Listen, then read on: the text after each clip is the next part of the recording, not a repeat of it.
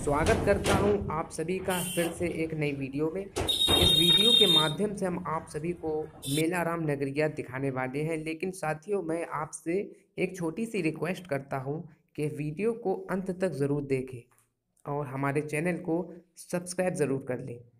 तो दोस्तों मेला राम नगरिया प्रतिवर्ष फरुखाबाद में स्थित पांचाल घाट में एक महीने के लिए लगता है। और काफ़ी दूर दूर से भक्तगढ़ यहाँ आते हैं और पूरे एक महीने तक झोपड़ी डालकर गंगा स्नान करते हैं और अपने पापों का भी नाश करते हैं। और साथ में मेला रामनगरिया का आनंद भी लेते हैं। दोस्तों, यहाँ पर हज़ारों की संख्या में दुकानें होती हैं। कुछ दुकानें खाने पीने से रिलेटेड होती हैं और कुछ दुकानें जो होती हैं वो शॉपिंग से रिलेटेड होती हैं। आप जो भी चाहें यहाँ पर ख़रीद सकते हैं।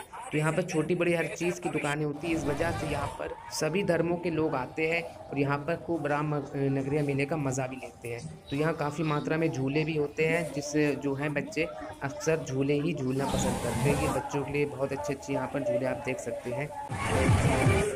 दोस्तों राम नगरिया मेला प्रति वर्ष जनवरी के महीने में लगता है। तो 2023 का जो राम नगरिया मेला है, वो समाप्त हो गया है और ये लास्ट वीडियो है। इसलिए मैं आपको जानकारी दे रहा हूँ कि अगर आप यहाँ आना चाहते हैं तो अगले साल यानी कि 2024 में राम नगरिया मेले का आनंद ले सकते हैं जनवरी के महीने में। तो ये है मौत का कुआँ आप देख रहे हैं। उसके पास में बच्चों के लिए ये झूले हैं, लगे हुए। और ये मनोरंजन क्षेत्र कहलाता है रामनगरिया मेले का। यहाँ पर सबसे ज़्यादा भीड़ भाड़ होती है, क्योंकि यहाँ पर बच्चे आते हैं अपने पेरेंट्स के साथ और यहाँ झूला झूलते और मज़े लेते हैं। तो दोस्तों, यहाँ पर आप देख सकते हैं तरह तरह के झूले हैं।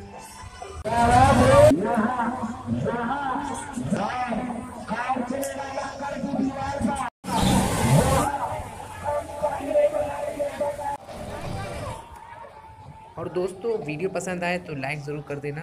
हमारे चैनल को सब्सक्राइब भी कर देना अपने दोस्तों में इस वीडियो को शेयर ज़्यादा से ज़्यादा कर देना।